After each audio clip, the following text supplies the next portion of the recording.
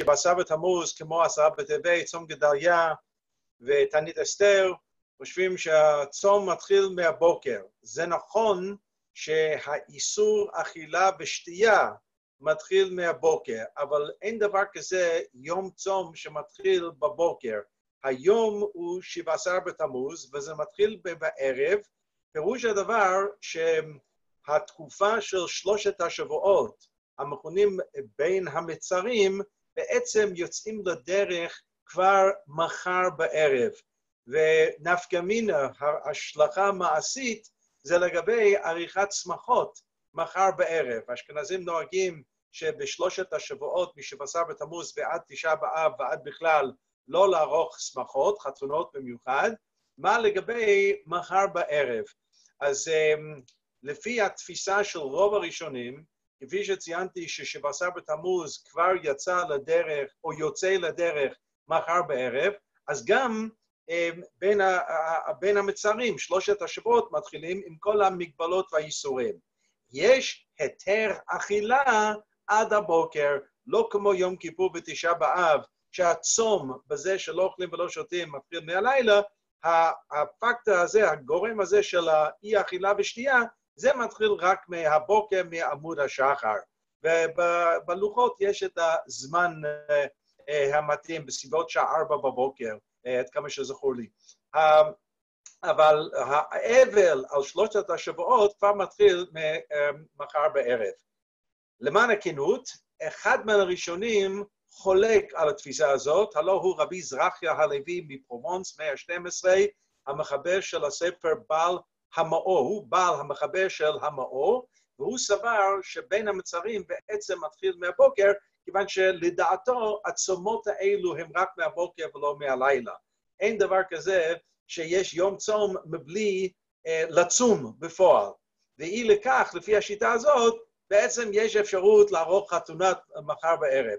אנחנו לא נוהגים כך, בפשטות לא, אבל יש תשובה אצל רב משה פיינשטיין במצב של 17 בתמוז שחל להיות ביום ראשון, וזה קורה, כמה, ואני חושב ששנה הבאה זה בדיוק יהיה המצב, אז במוצאי שבת רב משה פיינשטיין התיר שמחות על סמך השיטה הזאת. אבל בדרך כלל אנחנו לא מקבלים את השיטה הזאת להלכה ולמעשה. בואו נתחיל באלו שמחזיקים את הדף או רואים את זה במסך. בספר זכריה, פרק אחד מן הפסוקים המאוד מאוד מאוד אהובים עליי, כה אמר השם צבאות, צום הרביעי וצום החמישי וצום השביעי וצום העשירי יהיה לבית יהודה לששון ושמחה ולמועדים טובים, והאמת והשלום אהבו. בדרך כלל בספרי נביאים הכתובים אנחנו לא מקבלים שאלות ותשובות הלכתיות. זה צריכים להמתין עד תקופת המשנה והגמרא. אבל יש כאן שאלת חכם שפנו אל זכריה הנביא עם תחילת בית שני. הלא זכריה, יחד עם חגי ומלאכי, עומדים בתחילת בית שני. ובמשך 70 שנה אכן צמו את ארבעת הצומות הללו. הצום של חודש הרביעי הוא חודש תמוז, הצום של חמישי, חודש חמישי זה אב, זה תשעה באב. הצום של השביעי, חודש השביעי, זה צום גדליה. וצום עשירי זה טבת, עשרה בטבת. אז יש את הארבעה צומות על רקע חורבן הבית, אחרי חורבן הבית הראשון. ואז באה השאלה, עכשיו אנחנו בונים בית שני, האבכה את צום החמישי. מה הסיפור של תשעה באב? חייבים לצום או לא חייבים לצום? שאלה לגיטימית. באה תשובה יפהפייה, יוצאת מן הכלל, אבל רק צרה אחת, אנחנו לא יודעים אם התשובה היא כן או לא. הלוא השאלה הייתה, צמים או לא צמים, ומקבלים יופי של הבטחה, שהצום הרביעי וצום החמישי וצום השביעי וצום הזה, יהיה לבית יהודה לששון ושמחה ולמועדים טובים. והשאלה היא מתי? עכשיו בבית שני, או זה משהו עתידי בבית שלישי? זה לא ברור מהפסוק, והדבר הזה הוליד מחלוקת בין פרשני המקרא למה התכוון זכריה בעניין הזה. יתר כן, יש בעיה שזכריה לא מזכיר את התאריכים שבאותם חודשים. צום הרביעי, הצום של חודש תמוז, צום החמישי, הצום של חודש אב, אבל באיזה תאריך? לכל אחד ואחד מהצומות האלו יש חילוקי דעות לגבי התאריך המוחלט של אותם צומות. ורק לסבר את האוזן, על צום החמישי, שלכאורה קונצנזוס מקיר לקיר, שזה תשעה באב, אבל תפתחו תנ"ך בסוף ספר ירמיהו סוף מלאכים ב', פרק כ"ה, סוף דברי הימים, ששם בשלושת המקורות הללו מדברים על אה, חורבן בית ראשון, ויש שני תאריכים שונים, ואף אחד זה לא תשעה באב. אחד זה שביעי באב, והשני זה עשירי באב. והדבר הזה נידון בגמרא בסרט תענית, שלכאורה יש כאן סתירה בין פסוק אחד לפסוק שני, ושני הפסוקים סותרים את המסורת של תשעה באב. אז יש פתרונות, אני לא רוצה להיכנס לזה כרגע, יש פתרונות. אני רק אומר שזכריה לא סגר את התאריך הזה, רק כתב צום החמישי. אותו דבר לגבי צום גדליה. יש מחלוקת האם גדליה נהרג בראש השנה, אבל אי אפשר לצום בראש השנה זה חג, ואי אפשר לצום למחרת בית תשרי, שזה גם כן חג של ראש השנה. אז אנחנו דורכים צום גדליה לגימל, או, כפי שנראה ברמב"ם, שיש לו מסורת שגדליה נהרג בגימל תשרי, זה בעצם היום המוחלט.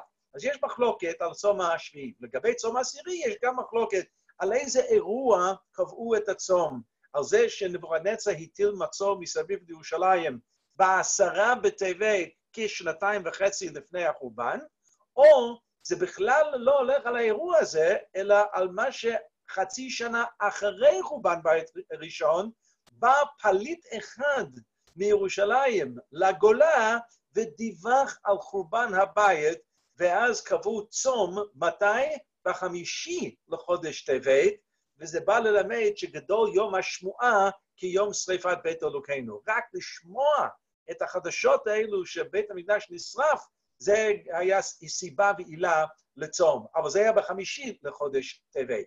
אז לכל הצומות הללו יש חילוקי דעות לגבי התאריך המוחלט, ומנהג בישראל הוא שלגבי צום החמישי אנחנו הולכים על תשעה באב, ותכף אנחנו נשמע למה, וצום השביעי על ג' שבט, וצום העשירי על עשרה בטבת. מה לגבי תמוז? אז הנה, במקום מספר שתיים, אנחנו יודעים ש... ששמים את שבעשר בתמוז בגלל כמה דברים, אבל בעיקר שהבב... שהבבליים פרצו את חומות ירושלים. אבל מה כתוב בירמיהו פרק נ"ב, זה הפרק האחרון של הספר?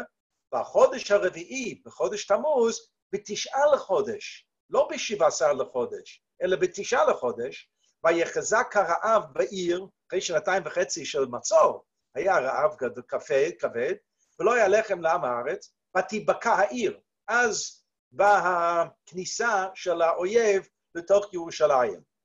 עכשיו, בגמרא מסכת ראש השנה, דף י"ח, במקום מספר שלוש, הגמרא מביאה ברייתא בשם רבי שמעון, שהוא אומר, יש כאן ארבעה דברים שרבי עקיבא דורש, ואני לא מסכים.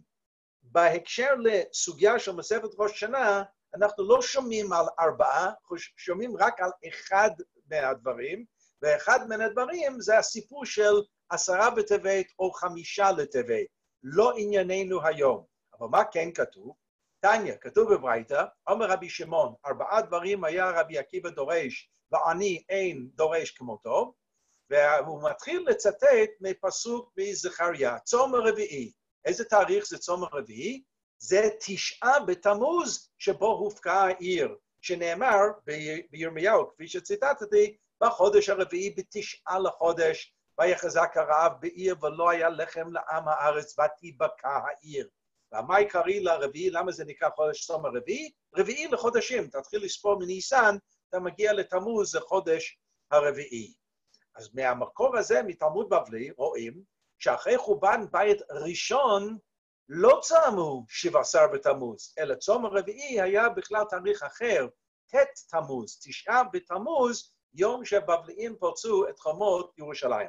ואז אנחנו קופצים למקום מספר ארבע, המשנה המפורסמת במסכת תענית, ששם אנחנו לומדים על חמישה אירועים של שבע עשר בתמוז וחמישה בתשעה באב. על תשעה באב אנחנו נשאיר בצד, ונתמקד עכשיו רק על שבע עשר בתמוז. חמישה דברים אירעו את אבותינו בשבע עשר בתמוז, וחמישה בתשעה באב.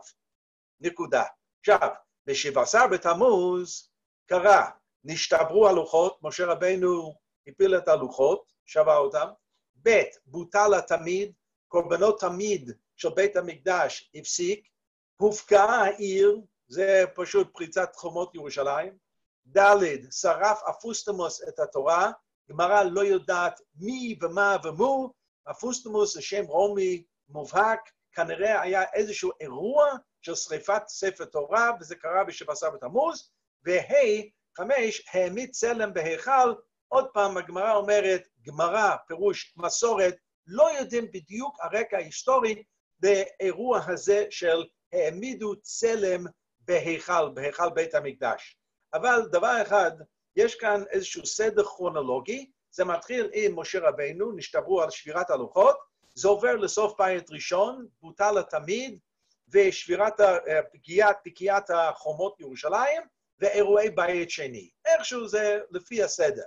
שואלת הגמרא במקום מספר חמש, איך יכול להיות שהופקעה העיר, שבבליים פרצו את חומות ירושלים ב-17 בתמוז, כשיש פסוק מפורש בספר ירמיהו, וכבר ציינו את זה במקום מספר 2, שזה לא קרה ב-17 בתמוז, אלא בט' תמוז. הופקע עיר בשבעה עשה אבי? שואלת הגמרא, האם פריצת חומות ירושלים היה בשבעה עשר, והכתיב הלא כתוב בספר ירמיהו, בחודש הרביעי, בתשעה לחודש, ויחזק הרב בעיר וכולי, וכתיב בתרי ומיד אחר כך ותיבקע העיר. אז יש כאן סתירה בין המסורת במשנה לבין מה שכתוב מפורשות בספר ירמיהו. אמר רבא, לא יקשה, אין קושייה כאן. כאן בראשונה, כאן בשנייה. הלא גם הבבליים פרצו את חומות ירושלים לקראת חורבן בית ראשון, וגם הרומאים פרצו את חומות ירושלים לקראת חורבן בית שני. הרומאים פרצו את חומות ירושלים בט' תמוז, לפי הפסוק בירמיהו, אבל הרומאים פרצו את חומות ירושלים בי"ז בתמוז, 17 בתמוז, וזה למעשה המסורת של המשנה. ככה הגמרא רצתה, רבא, המורה רבא רוצה לתרץ, נתניה, כפי שכתוב בברייתא, כהוכחה, בראשונה הופקעה בתשעה בתמוז, בשנייה בשבע עשר בתמוז. יופי. באו בעלי התוספות על מסכת ראש השנה, שכל הסיפור הזה יצא לדרך, ובעלי התוספות שואלים על מה שהגמרא הגדירה את הצום הרביעי של זכריה הנביא כתשעה בתמוז. זה תשעה בתמוז שבו הופקה העיר. תוספות כבר מודע, מודעים למסקנת הגמרא של מסכת תענית של מקום מספר חמש, ולכן הם אומרים, היינו בראשונה, זה מה שקרה בבית ראשון. אבל בשנייה, בבית שני, הופקעה בי"ז, הרומאים פרצו את חומות ירושלים בשבע עשר. משום הכי, לכן עבדינן בי"ז, לכן אנחנו עושים בשבע עשר בתמוז תענית. ועד כאן התלמוד בבלי. זאת אומרת, אם הייתי מסכם את התלמוד בבלי, יש כאן שני, שני אירועי היסטוריה של אותו, אותו דבר, בעצם פריצת חומות ירושלים. בראשונה זה קרה בט' תמוז, ואחרי חורבן בית ראשון אכן צמו בט' תמוז על האירוע הזה, ואחרי חורבן בית שני, הרומאים פרצו את חומות ירושלים לקראת החורבן ב-17 בתמוז, ועל פי זה אנחנו צמים. זה למעשה המסקנה של תלמוד בבלי, אבל תלמוד ירושלמי הובא כאן בתוספות, ברייתא, וכתוב דבר מוזר מאוד בתלמוד אה, ירושלמי. שכמו שהרומאים פרצו את חומות ירושלים בי"ז, 17 בתמוז, כך הבבליים פרצו את חומות ירושלים באותו תאריך, 17 בתמוז, בניגוד למה שלמדנו עכשיו על פי תלמוד בבלי. אבל הבעיה היא, מה תעשה עם הפסוק בספר ירמיהו? אף על גב בקרא בפסוק, אני קורא את התוספות שורה שנייה במקום מספר 6, אף אגב דכתיב בקרא, כתוב בפסוק בירמיהו, בתשעה לחודש, הכוונה איננה לתשעה לחודש תמוז. קלקול חשבונות היו שם. היה בלבול בלוח, והוא פליג הש"ס דידן, ותלמוד ירושלמי חולק על התלמוד בבלי שלנו. זה רוצה לומר, ומתוך טרדתם טעו בחשבונם. בגלל הטרדה, אני אומר, בגלל הבלאגן שהיה שם, אה, איבדו את הרגישות של הלוח, ולא רצה הפסוק לשנות מכמו שהיו סבורים. והפסוק רוצה לרשום את מה שהם חשבו לנכון. בואו ננסה להבין את הדבר הזה. במקור שבע הבאתי רק את השורה הרלוונטית של תלמוד ירושלמי, קלקול חשבונות יש כאן. כדי להסביר את זה, אה, יותר מפעם אחת הסברתי בבית כנסת אה, אה, סיפור שאני בעצמי שמעתי בקרקוב בשבת, במוצאי שבת אחד, עם תלמידיי מחשמונאים. מצאנו אישה לא צעירה מקיבוץ יבנה, שרה טסלה, שהיא ליוותה את הקבוצה של נכדתה בפוילין באותו שבוע, והיא הסכימה להופיע בפני תלמידיי uh, של כיתה י"ב um, באיזה בית מלון, שם לספר את סיפורה. סיפורה. והיא אמרה שהיא הייתה בערך בת 17 שנה באושוויץ, והם לא, לא ידעו ימים ולילות, כפי שכתוב בתוכך, בבוקר יאמר מי ייתן ערב, בערב מי ייתן בוקר, זה היה פשוט בלבול עצום, ולא ידעו מתי שבת, מתי חול, מתי חג, כלום, כלום, ממש כלום. חוסר רגישות לגמרי לעניין של זמן.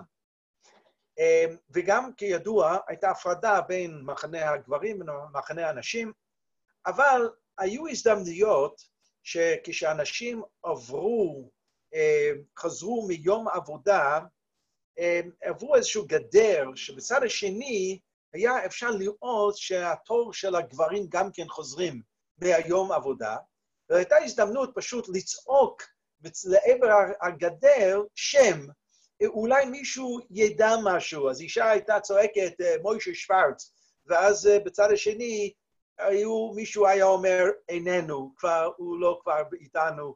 וכך אנשים שמעו חדשות על אה, בעלים ונשותיהם וילדים ומה לא, דרך התקשורת הכזה פרימיטיבית הזאת, בצעקות בין מחנה הגברים למחנה הנשים. היה יום אחד שבאמת חזרו, הנשים חזרו והגברים בתור שלהם חזרו, וגבר אחד צעק לצד השני, מחר זה יום כיפור. ושרה טצלה אמר, אמרה לעצמה, כמה אנשים באושוויץ, א', יודעים שמחר זה יום כיפור, ואפילו הם יודעים שמחר זה יום כיפור, כמה יהיו בצום? איך אפשר להיות בצום?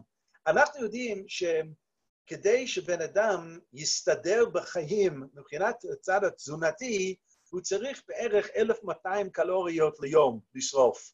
ואנחנו יודעים שבאושוויץ הם קיבלו משהו תת-תזונתי, כ-450 קלוריות ליום. פירוש הדבר שרוב האנשים שעברו בהצלחה, אפשר לומר, את הסלקציה הראשונה ברמפה שם בבירקנאו, תוך שלושה חודשים מתו מרעב, פשוט מרעב.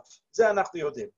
ושרה טסלה אמרה לעצמה, היא בת 17 שנה, עדיין יש לה פיסת כוח, היא תעבור את היום עם עבודת פרח וכן הלאה, היא תהיה בצום, ותהיה אולי היחידית, אבל יום כיפור שתהיה בצום. בסדר, אז היא עשתה את זה, והם חוזרים מאחרי יום עבודה, והגברים בצד השני, ומישהו צועק בצד השני, טעינו, היום לא היה יום כיפור, מחר זה יום כיפור.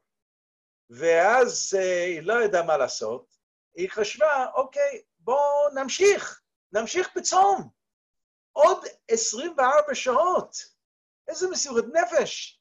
שאם היית שואלת כל רב בעולם מה לעשות, זה ברור מעל לכל ספק, מעל לכל ספק, שכל רב היה אומר, לאכול זה פיקוח נפש, יכול לתת לך תזונה ליום נוסף.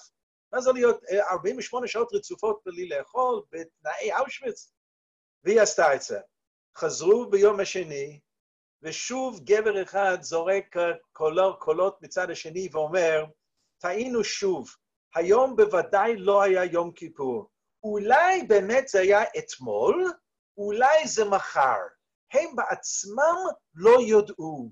והיה ויכוח בקרב המחנה הגברים, מתי בעצם היה יום כיפור? כשזה ברור מעל לכל ספק, לא ליד לאף אחד שמץ מתי זה היה ראש השנה. הם לא ידעו. ושרה טסלה פנתה לקדוש ברוך הוא ואמרה, אני לא יודעת מתי יום כיפור, אבל שהקדוש ברוך הוא יקבל את היומיים של צום כאילו הכל יום כיפור. היא אמרה את זה בפני שמיניסטים, תלמידי כיתה י"ב, שאתם יודעים מה זה תלמיד בחור בכיתה י"ב, גבר, גבר.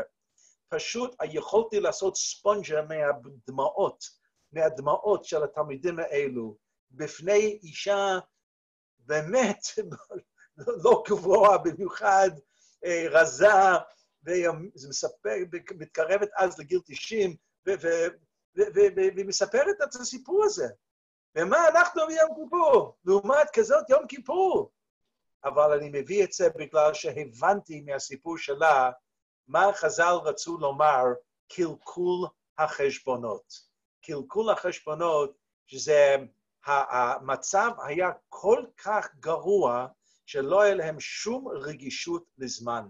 ואת זה ירמיהו ידע בוודאות שהבבליים פרצו את חומות ירושלים ב-17 בתמוז, לפי תלמוד ירושלמי, אבל ירמיהו בכוונה רשם את התאריך הלא נכון, כדי שאנחנו, 2,500 שנה אחר כך, נבין עד כמה שהמצב היה חמור וגרוע.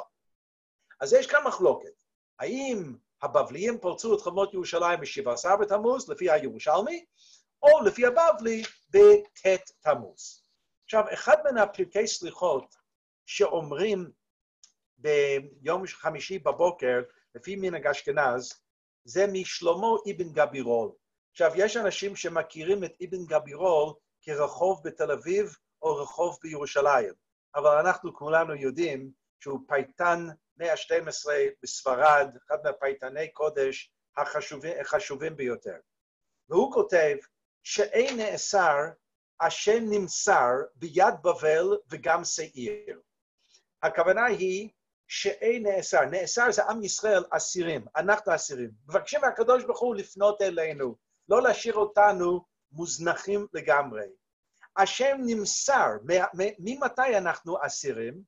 נמסרנו פעמיים לשבי, פעם בידי בבל ופעם בידי שעיר. מי זה שעיר? אז מספר בראשית, פרשת בשלח, אנחנו לומדים ששעיר זה אדום, ואדום בתפיסת חז"ל זה רומא. פשוט מאוד, רומא. אז הפייטן רוצה להגיד שאין נאסר, אשר נמסר, זה אנחנו, ביד בבל וגם שעיר, פעם אצל הבבליים, פעם אצל הרומאים. יום גבר האויב ותיבקע העיר. אותו יום שהאויב פשוט פרץ בתוך העיר בדרך לכיבוש של ירושלים. פירוש הדבר, שלמה אבן גבירול משתדל, משתמש בשיטה של תלמוד ירושלמי, שלא רק הרומאים פרצו את חמות ירושלים בי"ז בתמוז, אלא גם הבבליים. אותו יום, יום גבר האויב ותיבקע העיר, שייך גם לבבל וגם שעיר, שזה אדום, שזה רומא. תכף נחזור לפיוט הזה. אבל חייבים פשוט להתקדם בכמה נקודות מעניינות על הסוגיה הזאת. אמ, נכון שאנחנו הולכים לפי תפיסה של תלמוד בבלי, ובמקום מספר שמונה יש בשולחן ערוך. בשולחן ערוך ברור שאנחנו עושים שבעשר בתמוז, אף אחד לא עושה צום בט' תמוז. אז בשולחן ערוך כתוב, אף על גב, למרות, דכתיב בקרא, כתוב בפסוק בירמיהו, בחודש הרביעי, בתשעה לחודש, הופקעה העיר, אין נטענים בט', לא צמים בט' תמוז, אלא בי"ז, שבע עשר בתמוז, מפני שאף על פי שבראשונה הופקעה בט' פה, על אף העובדה שלקראת חורבן בית ראשון הבבליים פרצו את חומות ירושלים בתשעה לחודש, אבל כיוון שבשנייה הופקעה בי"ז בו, מאחר שרומאים לקראת חורבן בית שני פרצו את חומות ירושלים ב-17 בתמוז, תקנו לטענות בי"ז בו, חז"ל תקנו לצום רק באחד מן השניים, ובחרו צום הרביעי הרלוונטי לחורבן בית שני ולא לבית ראשון. מדוע? משום דחורבן בית שני חמיר לנו. חורבן בית שני יותר חמור לנו. פירוש הדבר, אנחנו סובלים ישירות מחורבן בית שני ורק בעקיפין מחורבן בית ראשון. ולכן, אם כבר צריכים לבחור בין שני התאריכים הללו, חז"ל בחרו בתאריך הרלוונטי לבית שני, דהיינו 17 בתמוז. החפץ, החפץ חיים במשנה ברורה במקור תשע שואל שאלה מאוד פשוטה, אז למה לא לצום פעמיים? גם בט' תמוז וגם בי"ז בתמוז. מה קרה כאן? אז הוא אומר במקום מספר תשע, לא רצו לגזור גם בט', לא רצו להעמיס על הקהל, על הכלל ישראל, צום נוסף, גם בי"ז וגם בט'. ואין מטריחים על הציבור יותר מדי, זה לא מתאים שלהעמיס על הציבור יותר מדי צומות, הלא בחודש אב יש לנו צום נוסף, שהוא באמת צום חמור, וזה תשעה באב. ועכשיו אנחנו עוברים לקטע הבעייתי, שהוא כמובן הרמב"ם. היה לי פעם פרופסור אחד, הרב פרופסור מאיר שמחה פלדבלום, זיכרונו לברכה, שאמר קצת בבדיחותא, שהרמב"ם שם את כל המכשולים שלו בדרך הספר שלו, כדי שזה יאתגר את הלמדנים ויקראו את הספר. מה היה קורה אם משנה תורה של הרמב"ם, בפירוש המשנה של הרמב"ם, הכל היה חלק, בלי בעיות, מן הסתם הספרים הללו היו נשארים על המדפים אמ, ואף אחד לא היה מסתכל. מדוע לומדים רמב"ם יום-יום בעולם התורה והישיבות? בגלל שזה מאתגר. לא יכול להיות שאותו רבי משה בן מימון יכתוב משהו שלא מסתדר עם המקורות. והדבר הזה הוליד כ-800 שנה של חידושים וכל מיני הצעות למיניהם, פתרונות. יש כאלו יותר קרובים אל ההיגיון, יש כאלו רחוקים מההיגיון, אבל בכל זאת אנחנו נראה משהו, תופעה מעניינת. במקום מספר 10, מפירוש המשנה של הרמב"ם למסכת ראש השנה, הרמב"ם מגדיר את הפסוק בספר זכריה, בשורה האחרונה של אותו מקור 10, וצום הרביעי הוא 17 בתמוז, לפי שתמוז הוא החודש הרביעי. כאן הרמב"ם לא אומר לנו שאנחנו צמים את 17 בתמוז בגלל זה בית שני. הוא אומר, זכריה דיבר הצום הרביעי אחרי חורבן בית ראשון, למה הוא התכוון? הוא התכוון לבבליים שפרצו את חומות ירושלים אה, ב-17 בתמוז. אין לי בעיה שהרמב"ם מאמץ את דרכו של תלמוד ירושלמי על פני דרכו של תלמוד בבלי. היו דברים מעולם, אני בעצמי כתבתי על זה לא מעט. אז היו דברים מעולם. זה לא בעיה. איפה מתחילה הבעיה?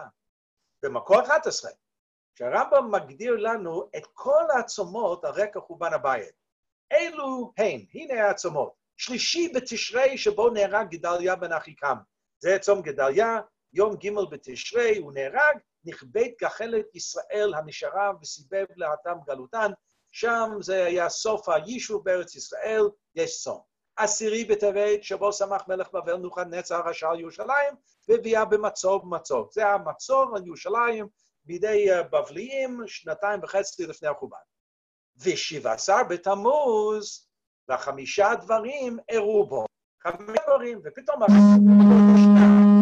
בפניו, שחמישה דברים קרו בשבע עשר בתמוז. והנה, נשתברו הלוחות, משה רבנו, שבעת הלוחות, לפי החישוב, יופי, זה אחד.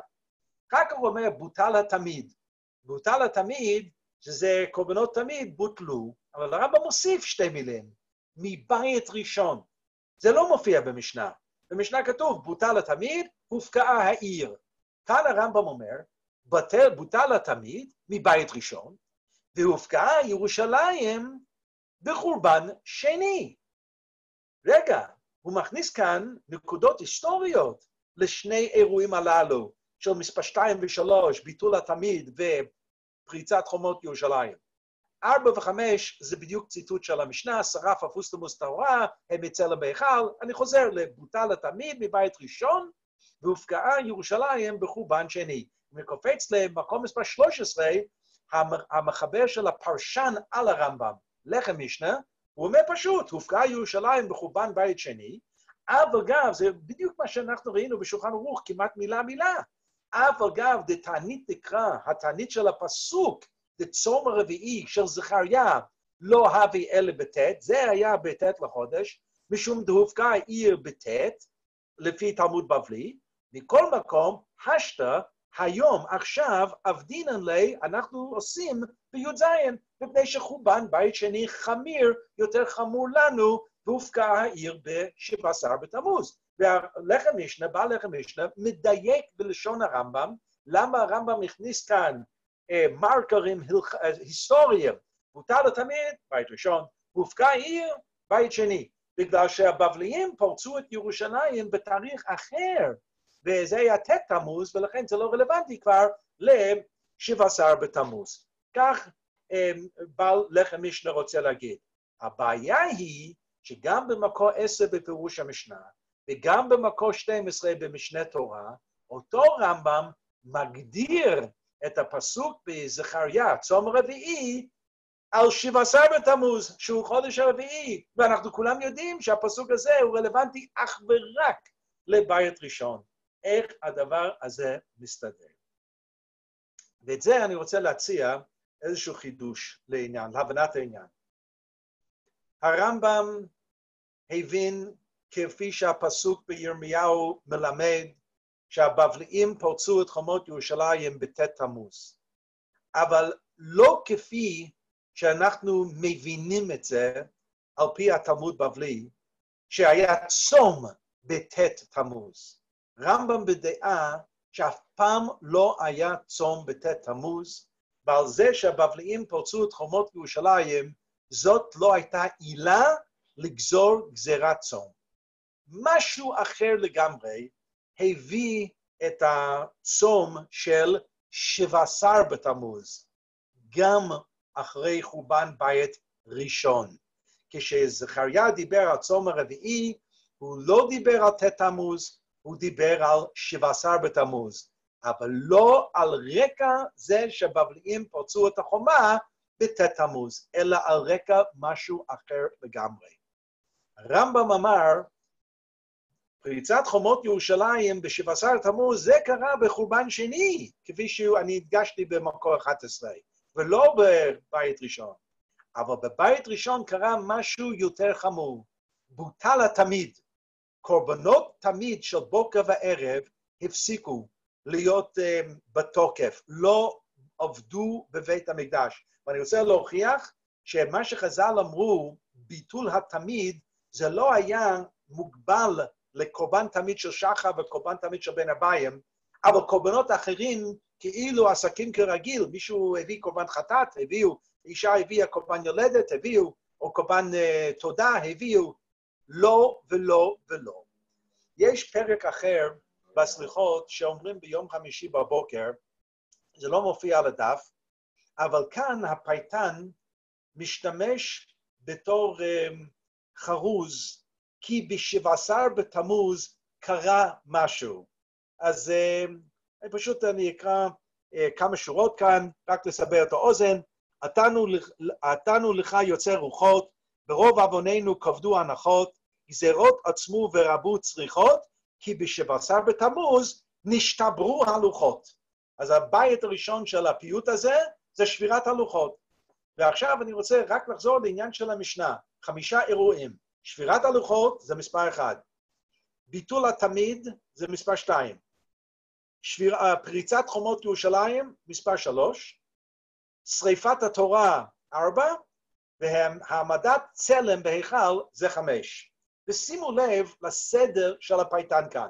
הוא מתחיל עם מספר אחד, שבירת הלוחות, אבל בבית שני של הפיוט, גלינו מבית הבחירה, וחושכה בעדנו אורה, דיננו נחתם ונגזרה גזירה, כי בשבע עשר בתמוז נשרפה התורה.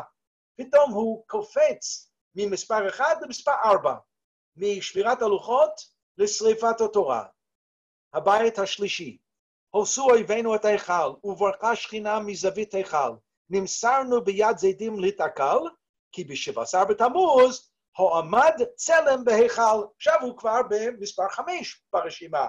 במשנה היה אחת, שתיים, שלוש, ארבע, חמש, והפייטן הזה בשלושת הבתים הראשונים, יש לו אחד, ארבע וחמש. עכשיו הוא לוקח ריברס. זה פרסה, ואומר, זרונו מעיר אל עיר, נלכד ממנו רב וצעיר, חרבה עירנו ואש בה הבעיר, כי בשבשר בתמוז נפקעה העיר. שבירת הפריצה של החומות, זה מספר שלוש. על איזה סדר יש לו? אחת, ארבע, חמש, שלוש. מה נשאר? שתיים. ומה היה בשתיים? ביטול התמיד. ותראה מה שהוא עושה כאן עם הבית החמישית. תפש במקדשנו צר המשמיד, ונוטל מחתן וכלה עצדה וצמיד. יען כי הנוסחה ניתנו להשמיד, כי בשבשר בתמוז בוטל התמיד. אז הוא משתמש בלשון המשנה, בוטל התמיד. זה הבית החמישי בפיוט, שהוא חזר לנקודה מספר שתיים במשנה, אבל הוא לא סיים את מלאכתו. הוא ממשיך עכשיו עם בית שישי, שביעי ושמיני, והוא יחזור ויחזור ויחזור על המוטיף של ביטול הקורבנות.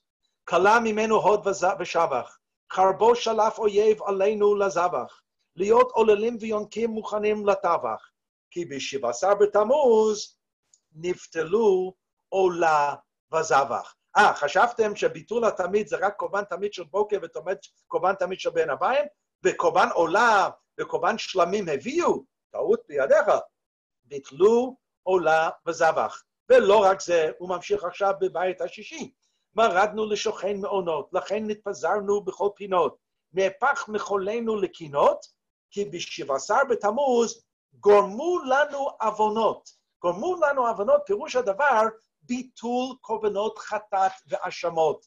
כלומר, מאחר שלעם ישראל כבר לא הייתה אפשרות להגיש ולהקריב את הקורבן חטאת ואשם, מה נשאר להם?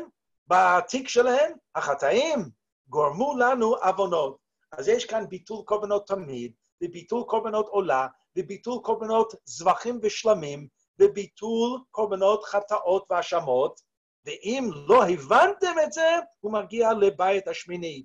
שררנו לפניך, שרבנו לפניך מריב לשונות, לכן למדו לשוננו לומר קינות, עווננו בלי להימנות, כי בשבע עשר בתמוז נפתלו הקורבנות. כאן בשם כולל יש נדרים, יש נדבות, יש כל מיני קורבנות אחרים, כולם בוטלו. כלומר, מה קרה בשבע עשר בתמוז? בית המקדש הפסיק לתפקד כמוקד של עבודת השם. זה מה שקרה. והרמב"ם בדעה שזאת הייתה הצהרה האיומה שעליה גזרו חכמינו צום בשבע עשר בתמוז. לא על זה שהבבליים פורצו את חומות ירושלים. ואז השאלה היא, אם אחרי בית שני כן ראו לנכון לגזור גזירה על שבע עשר בתמוז, על זה שהבבלי, שהרומאים פרצו את חומות ירושלים לקראת חורבן בית שני, אז זה כן חמור לפרוץ את חומות ירושלים, אז למה חכמים, חמש מאות שנה לפני כן, לא חשבו שהבבליים שפרצו את חומות ירושלים, זאת תהיה עילה לגזור גזירת צום, אלא הלכו על משהו אחר, ביטול הקורבנות, לגזור את גזירת צום בשבע עשר בתמוז. וכאן אנחנו חייבים להבין את מקומה של ירושלים בבית ראשון מול מקומה של ירושלים בבית שני. אותו עיר, אמנם בית המקדש היה קצת שונה מבחינת המבנה, אבל קדושת מקום יש בשני מקומות, אבל בכל זאת הייעוד של ירושלים שונה לגמרי מבית ראשון לבית שני. וזה הולך כך. בית ראשון, אנחנו יודעים שירושלים בכלל לא חלק ממפת ארץ ישראל עם כיבוש ישוע בן נון, וזה לוקח שנים עד שדוד המלך משחרר את האזור המובלע של היבוסים, שזה הופך להיות ירושלים שלנו. פירוש הדבר, ירושלים נכנסת לתמונה בסוף התהליך של כיבוש ארץ ישראל, כמעט 400 שנה. זה פשוט סוף התהליך של, של כיבוש הארץ. מה הייתה מטרת ירושלים בבית ראשון? לאחד את השורות, גם מבחינה מדינית, שלא תהיה 12 שבטים, אלא עם ישראל עם ממלכה אחת בשלטון מרכזי, וגם לאחד את עבודת השם, במקום שיהיו במות, ובמות, אני מתרגם את זה בסלנג שלנו, שטיבלך. פשוט מאוד, כל אחד בחצר בית הקים מזבח והביא קורבנות, וזה השטיבלך.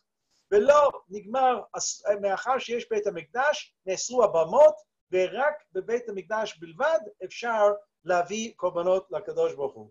זה, זה בעצם הייעוד של ירושלים. לעומת זאת, ולכן ירושלים הגיעה בסוף הדרך, ממש בסוף הדרך.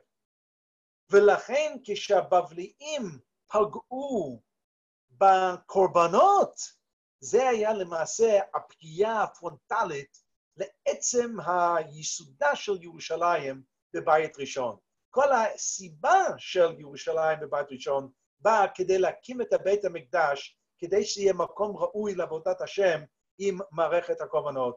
וברגע שהבבליים גורמו לביטול של הקורבנות, בעצם ירושלים שוקעת. זה לוקח עוד שלושה שבועות עד שבית המקדש נשרף, אבל ירושלים כבר שוקעת, ועל זה הרמב"ם אומר, באמת גזרו גזירת צום, בוטל התמיד מבית ראשון. לעומת זאת, בבית שני, הסיפור בדיוק הפוך. בבית שני, ירושלים תופסת מקום בתחילת הדרך של שיבת ציון.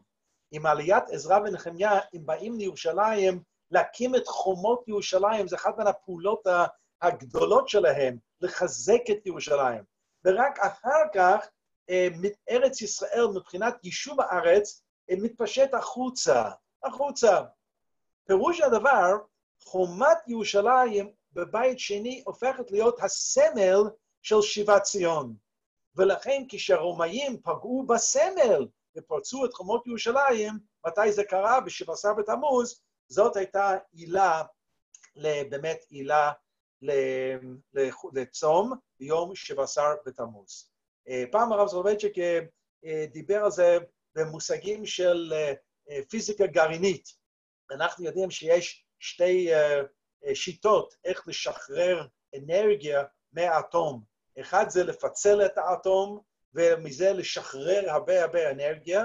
זה מה שקרה בהירושימה ונגסקי, בלועזית זה נקרא fission, וגם יש אפשרות, כמו הפצצה המימן, ש- שאפשר לחבר את האטומים ביחד, זה גם משחרר עוד יותר, עוד יותר אה, אנרגיה, וכך אגב עובד השמש שלנו, וזה נקרא fusion. fusion מלשון התחברות. וזה בבית ראשון, התפקיד של ירושלים הייתה תפקיד של התחברות, והתפקיד של ירושלים בבית שני זה היה תהליך של התפרט, אה, התפשטות, פשוט להתפשט לכל עבר. פשוט שני, שתי סיבות שונות לגמרי לעניין של ירושלים. ולכן כשהבבליים פגעו בקורבן, אז, אז זה היה למעשה העילה להקמת ירושלים בבית ראשון, ולכן על זה צום. כשהרומאים פגעו בחומות ירושלים, זה היה למעשה העילה של, של פגיעה בבית שני בשיבת ציון, ולכן אה, אה, יש צום ב-17 בתמוז. רק אה, הערה אחרונה על ההבדל בין הבבליים לרומאים, ואת זה מביא אותי שוב לפיוט הראשון שהתחלתי עם יום גבר האויב ותיבקע העיר. בבית האחרון של הפיוט הזה, אנחנו פונים על הקדוש ברוך הוא, שיגרום לכך שהאויב אכן ישלם. הלא הם עשו כזה נזק לנו, בנפש וברכוש, דרך החורבן. אנחנו לא חצופים לגמרי לומר ש... שלא היה מגיע לנו. היה מגיע לנו, ובכל זאת, זה היה ממש מוגזם מה שהם עשו. אנחנו פונים על הקדוש ברוך הוא לקראת סוף הפיוט, ואומרים, בני בית זבול והשב גבול. מבקשים מהקדוש ברוך הוא שיבנה מחדש את בית המקדש. בית זבול זה, זה, זה, זה שם כינוי של בית המקדש. והשב גבול, אי אפשר לבנות בית המקדש על ואקום, זה חייב להיות מתוך יישוב ארץ ישראל. ולכן אנחנו חייבים לקבל את הגבולות בחזרה. איזה גבולות?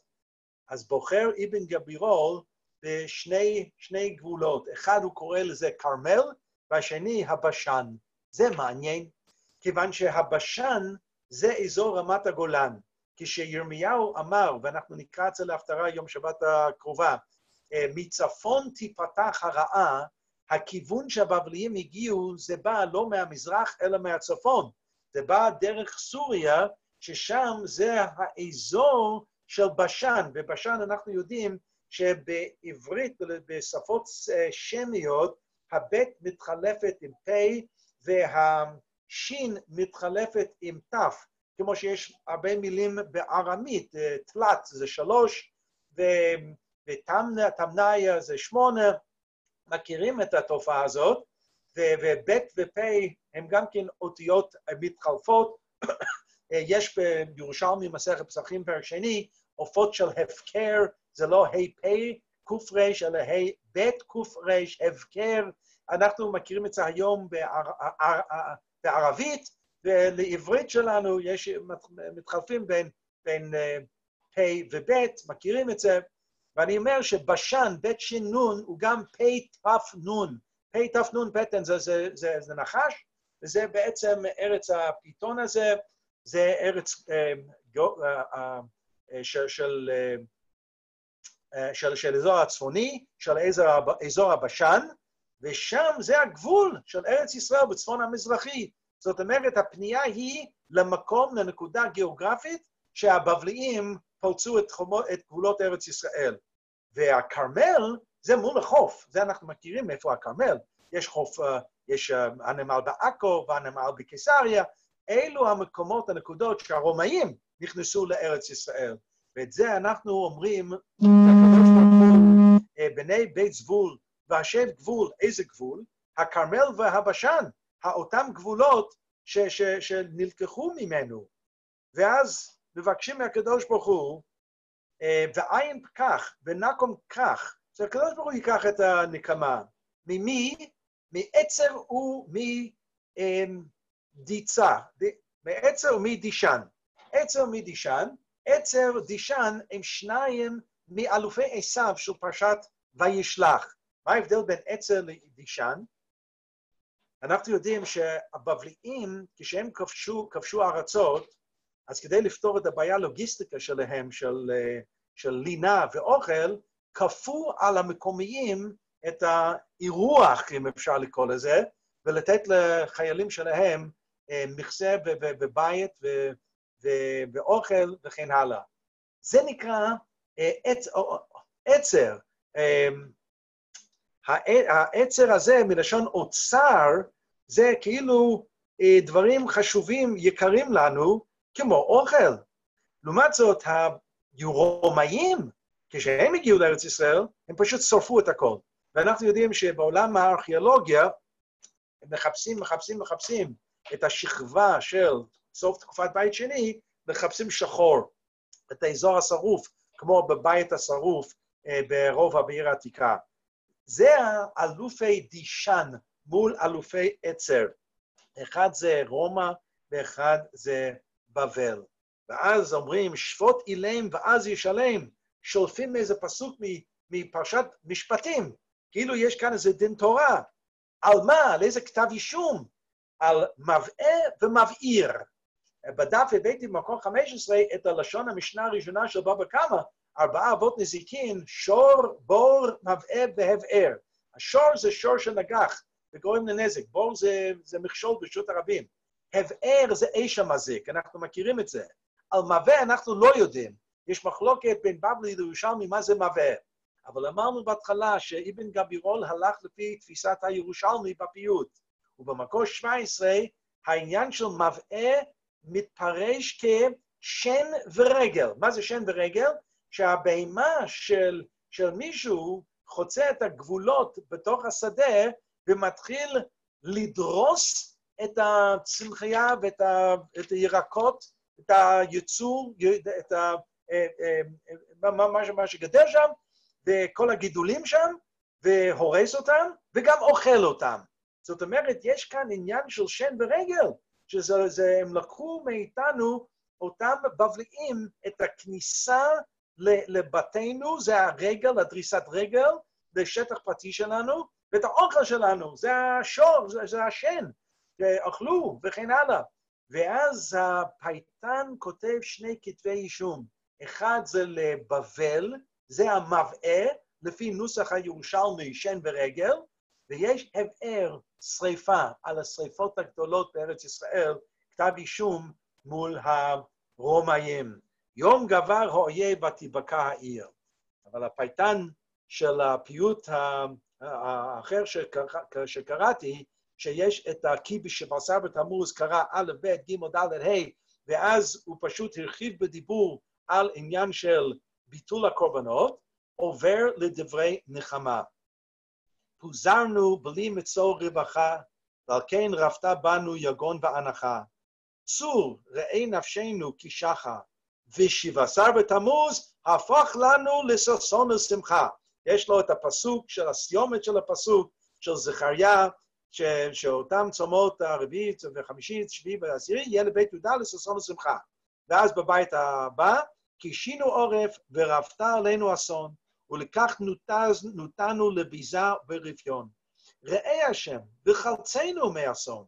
בשבע עשר בתמוז הפך לנו לשמחה ולששון. אז כאן הוא פשוט משחק, ששון, שמחה, שמחה, ששון, ואז מגיע לבית האחרון של הפיוט, שאי אלינו שוכן רומה, קבץ נפוצותינו מארבע פינות אדמה, תאמר לציון, קומה ונקומה, ושבע עשר בתמוז הפך לנו ליום ישועה ונחמה, וכן יהי רצון במהרה בימינו. כל טוב. תודה.